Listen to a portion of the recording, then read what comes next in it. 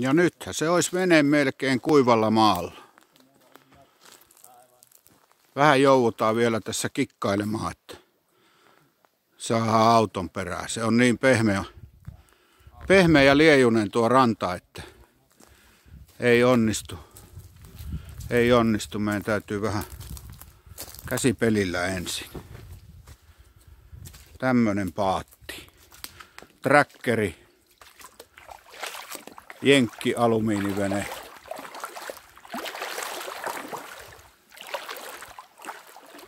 Kolmekymppinen Evinruude.